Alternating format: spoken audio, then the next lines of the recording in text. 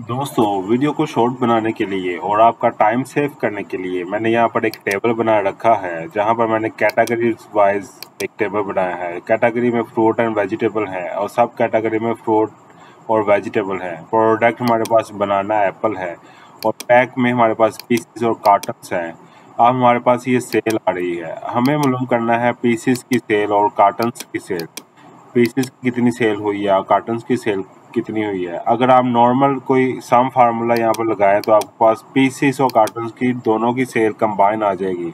जैसे मैं ये आपको एक डेमो दिखाने लगा हूँ। ये हमारे पास पीसीस और कार्टन्स की कंबाइन सेल आ गई है। लेकिन मुझे मालूम करना है कि टोटल नंबर ऑफ़ पीसीस कितने सेल हुए हैं और टोटल नंबर ऑफ़ कार्टन कितने सेल हुए हैं। तो ये मालूम करने के लिए मैं यहाँ पर यूज़ करूँगा सम इफ़ का फार्मूला तो इक्वल का साइन एंटर करूँगा। उसके बाद सम इफ़ एंटर कर दूँगा तो मेरे पास सम इफ़ का फार्मूला आ जाएगा।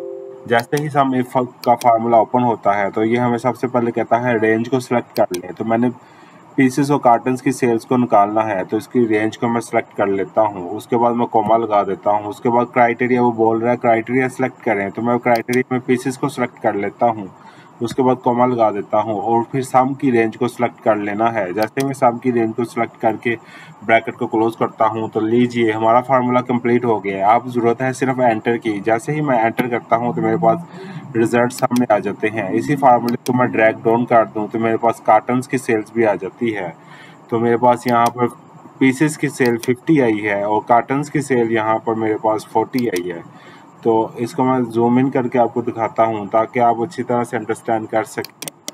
तो दोस्तों, जब भी आपको कोई क्राइटेरिया पर टोटल निकालना हो, जिसमें पीसेस की डिफरेंट सेल निकालनी हो और कार्टन की सेल डिफरेंट निकालनी हो आई मीन सेपरेट सेपरेट निकालनी हो तो आप सामने इसका फार्मूला यूज़ करें। ये बहुत ही मैजिकल फार्मूला है।